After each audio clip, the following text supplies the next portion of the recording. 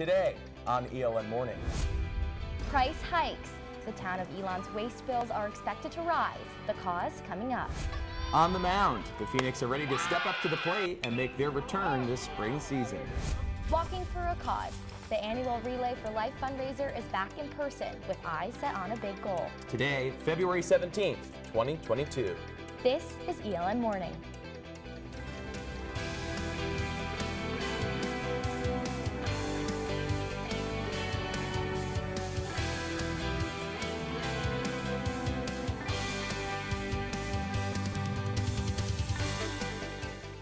CDC Director Rochelle Walensky says the agency is reviewing its mask guidance and may soon issue an update. This is half of state mask mandates uh, dropped in the last three weeks, and some universities begin assessing maskless environments for those boosted and vaccinated. We begin our coverage here. Happy Thursday morning, everyone. I'm Ashlyn DeLoughy. And I'm Baylor Rodman. You're watching ELN Morning. Walensky says the CDC will now focus more on COVID hospitalizations rather than cases as the guide to whether public health measures should be lifted. Hospitalizations nationwide have fallen 28% and 25% here in North Carolina over the past week. That is just slightly lower than hospitalizations during the peak of Delta. Walensky says she wants to give people a break from wearing masks as the pandemic improves. We all share the same goal to get to a point where COVID 19 is no longer disrupting our daily lives, a time when it won't be a constant crisis, rather, something we can prevent, protect against, and treat. If and when we update our guidance, we will communicate that clearly, and it will be based on the data and the science. So the question now, what does this mean for Elon? Healthy Elon Chair Jeff Stein says the committee has been discussing next steps on shifting away from current restrictions for quite some time. He says Elon wants to remove restrictions, quote, as soon as we can. We'll be communicating with the campus on this topic soon. While things are getting much better and we are close, we're not there today. Stein says one of the reasons why is because, quote, your faculty and staff still have kids at home that cannot be vaccinated. That said, we should note faculty and staff have never been required by Elon to be vaccinated or boosted themselves, unlike the student body. Residents throughout the town of Elon may soon see their trash and recycling bills nearly double. Our Margaret Faust has the story. People are generating more waste, requiring more workers who need to be paid more. And garbage trucks are breaking down and need repairs, leaving price hikes for residents. Resident Michael Geary, who also works in waste management, says he's seen prices go up like this before and expects it to get worse. We have a blessing and a curse. We're growing, which means that our economy is growing. The unfortunate part is we haven't planned to really um, become a zero sum when it comes to trash. Elon Mayor Emily Sharp says with fewer trash and recycling companies to choose from, prices are harder to negotiate that's your cost and here it is.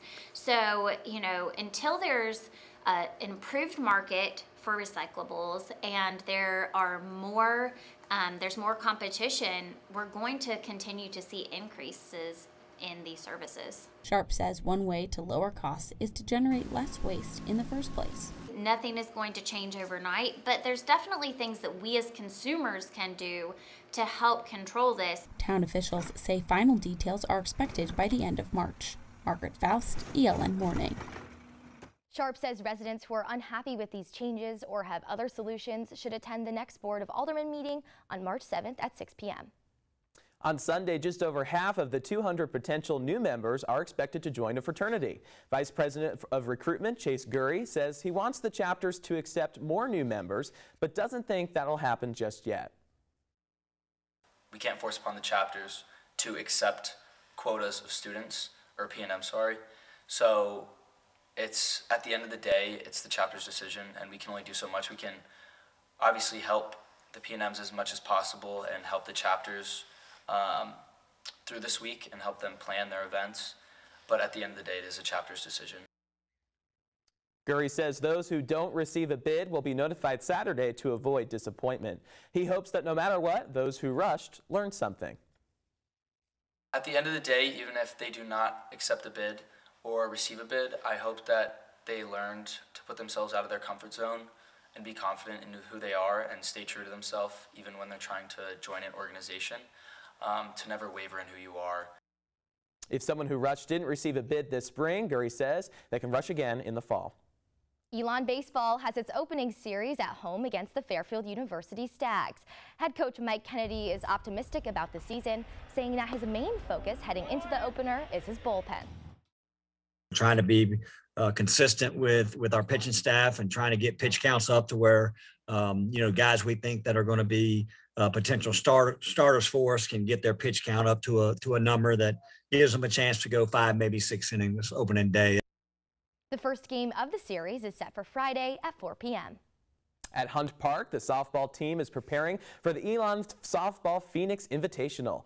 Three other college programs will join the Phoenix in its annual tournament between Friday and Sunday. Head coach Kathy Bocock says the team is looking forward to playing this tournament at home. Our girls love playing at home, and the more we can play at home, the better it helps us moving forward. But, you know, we do have some good teams coming in here, and I think we're going to have some good weather, so we're just looking forward to some good softball. The Phoenix first game of five is set for Friday at 1.30 against Providence College. This Saturday, along with playing its last home game, the men's basketball team will honor three seniors, Chuck Hanna, Chris Wooten, and Chris Mendes. Head coach Mike Schrage says that the team's mind might be elsewhere, but it's important to remember to honor those three you know, at this time of the year, about it's all about trying to play your best leading into that conference tournament. But we, we, we need to play for those guys too. Um, you know, all three of those guys have been huge, huge contributors to whatever energy we have been building here. Tip-off against Drexel University is set for Saturday at 4 p.m. Relay for Life was one of the few events held before campus closed in March of 2020. After a year of virtual and in-person events, the organization is already exceeding their fundraising mark of over $70,000. Next weekend, students will be leading the fight against cancer in Daniel Gym.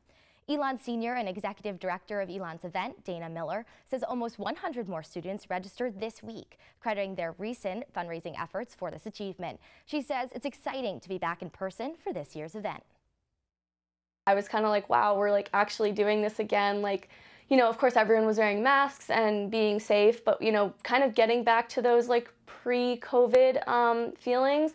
So it definitely just felt like really exciting.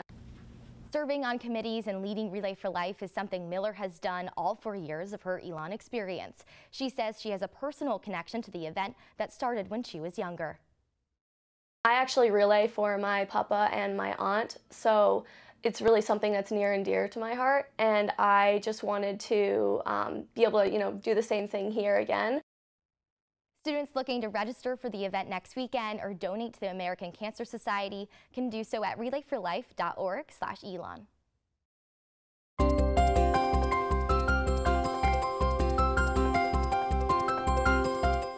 All right, nine minutes after the hour now, and our Jenna Manderioli joins us live on Citroen Plaza for a look at the weather ahead. Good morning, Jenna. Good morning, Baylor and Ashlyn. I have to say, I'm so excited for the weather up ahead. We're definitely going to see some warmer trends, and walking to class is going to be much more enjoyable. It's a little cloudy out right now, but later we'll see more sun and highs in 70s. Now for your Phoenix five day forecast. Tomorrow will be a little cloudy, but the warm weather will still remain with temperatures in the low 60s. Heading into the weekend, the sun is here to stay, but with temperatures in the high 50s.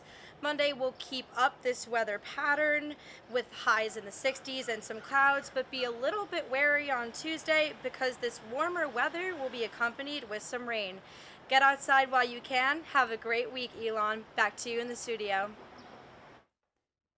All right, Jenna Manderioli on Citroen Plaza for us this morning. Jenna, thank you.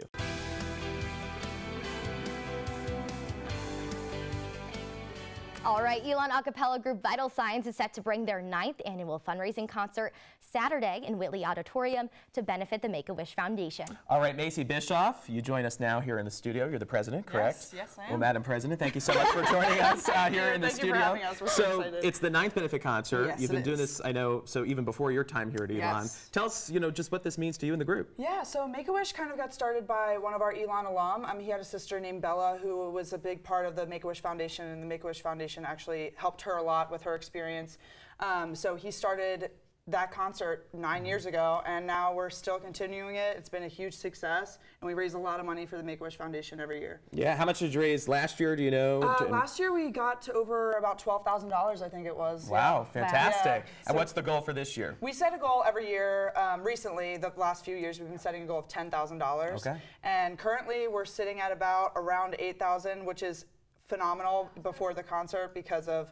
Um, we're still selling tel- tickets, still doing Mhm. raffles. There's going to be donations during the concert itself, so it's going to be a, a really, really great contribution we get to make to the Make a Wish Foundation. And I imagine you guys are all excited, right?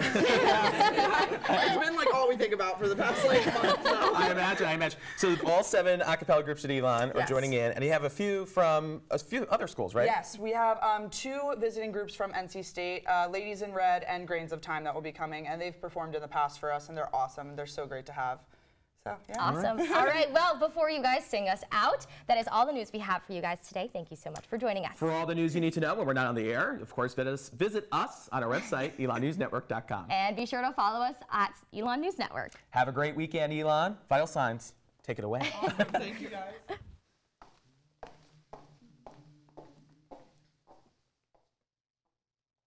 Well, she slid down the hall in her socks and yelled, Come outside. No, no, no, nothing's wrong. I just happened to have a surprise. Well, we fell through the door like the autumn and I wrestled my brother down to his knees just to watch as